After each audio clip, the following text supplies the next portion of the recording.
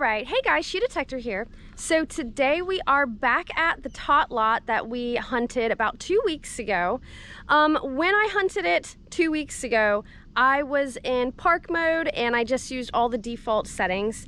Um, while it's good to use the default settings sometimes, the reason I was hunting the tot lot was because I wanted to get like all the sharp potential nails, screws, whatever, out of the play area.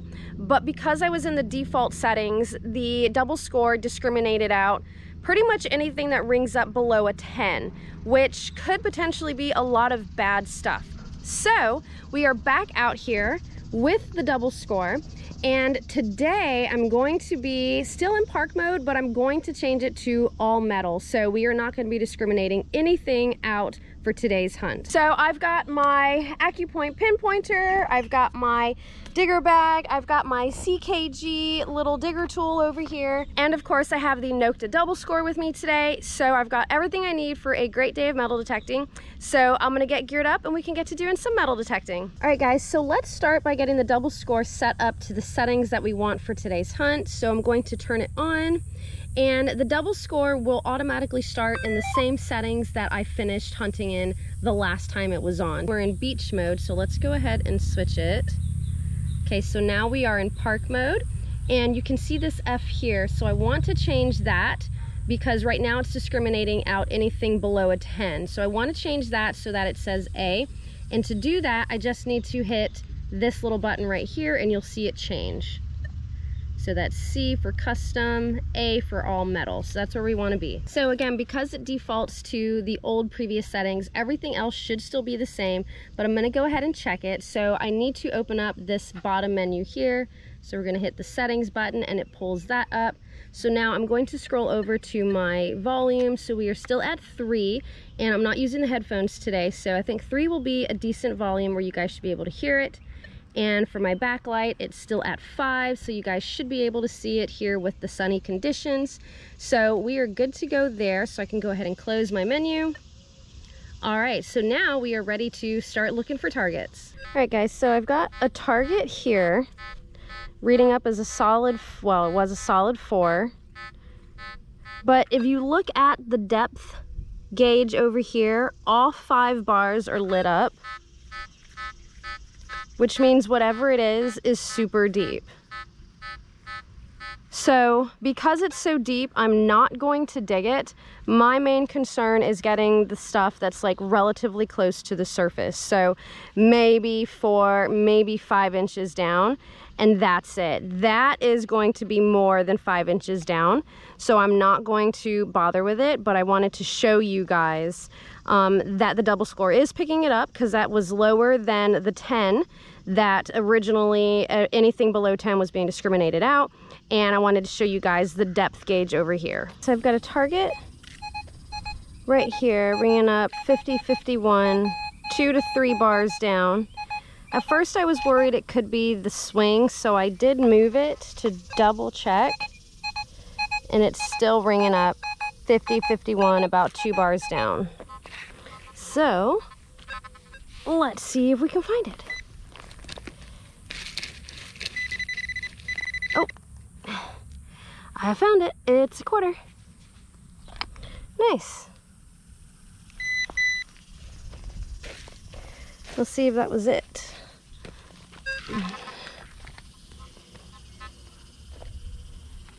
Yep. All right, guys, so I'm done with the tot lot.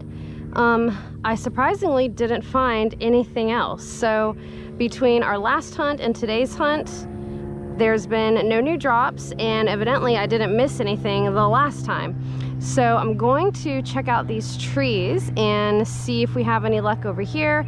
Um, I think last time I found that part of a smartwatch and I want to say one or two coins over here. So we'll see what we find today. All right guys, so there's something here. It's jumping around 32, 33, 37. The depth is all over the place. So, yeah. It's either super close or it's super far and it's little or it's big. I don't know. Let's see if we can find it. All right, so it's super close.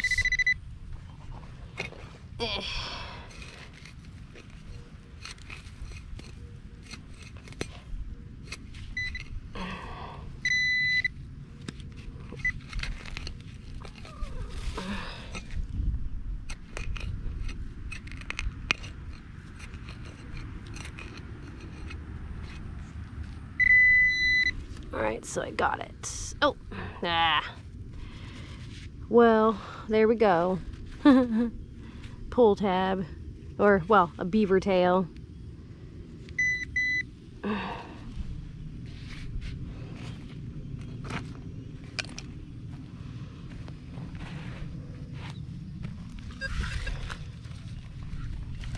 Yep, that was it. All right, guys, so I've got a target right here.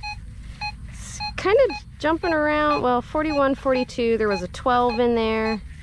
It's saying it's about three bars down, two to three bars down. So let's see if we can find it.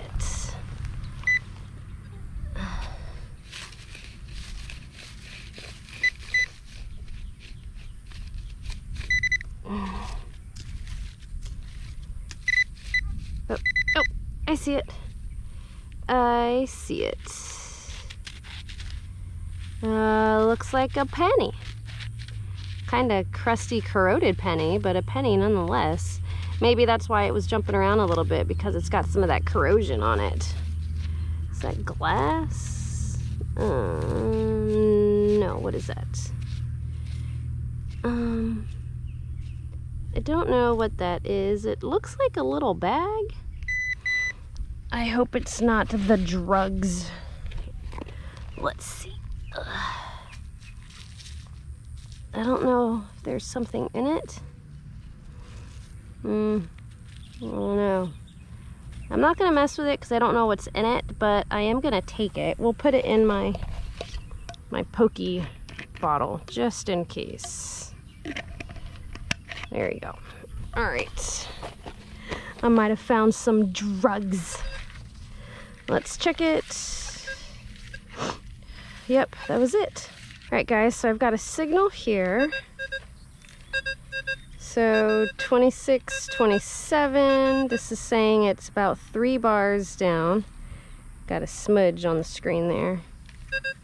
Um, two to three bars down. Let's see, I'm still by the trees, obviously. Oh, wait. Yep, that's it. I didn't even have to dig for it. What is that?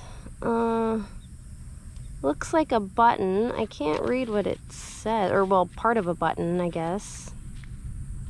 Um,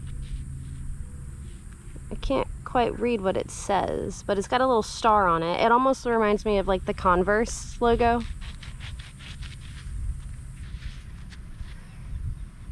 Yeah. Uh, Maybe I'll be able to read it when we get it back home. I can use like a magnifying glass or something. Yeah, all right, cool. I think that was it. Let's check. Yep, that was it. All right, guys, so I've got another target here. This one's 22, 25, 26. Again, the readings are jumping all over. Between two and five. It almost seems like if the target is right on the surface, the readings kind of jump around a bit.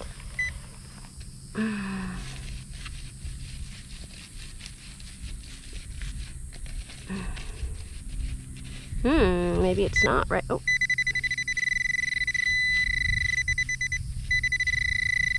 Oh, ah. Boo. Uh, some kind of, I don't know, aluminum something or other. Hmm, well, maybe that's why I was jumping around because it's all crunched up, I guess. Dang. All right, guys, so got a target here. 30, 31, two to three bars down. It looks like there's a lot of roots here from this tree though. We'll see if we can get to it. Uh, oh.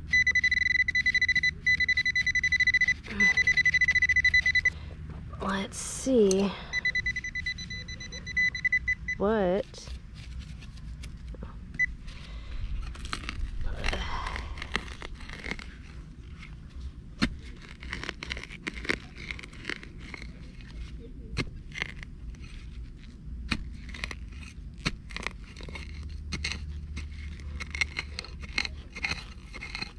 I'm not seeing anything yet.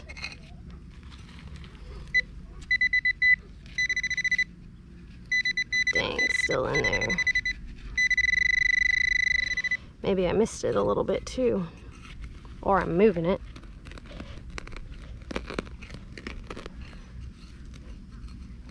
Oh, ah, dang. Dang, dang, dang. Pull tab.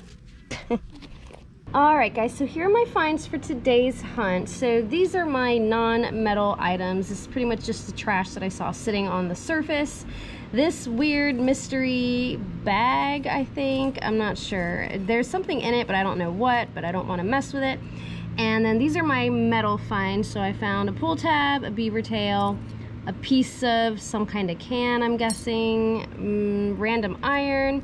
This is a wrapper this little button here. I'm still not able to read what it says on there, unfortunately. And then my two good finds are this penny and this quarter.